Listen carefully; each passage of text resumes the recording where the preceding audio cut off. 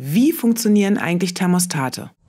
Thermostatventile regulieren den Heizwasserdurchfluss in den Heizkörpern, um die gewünschte Raumtemperatur zu erreichen.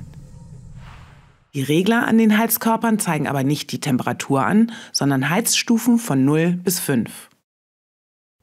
Stufe 2 entspricht in etwa einer Raumtemperatur von 16 Grad Celsius.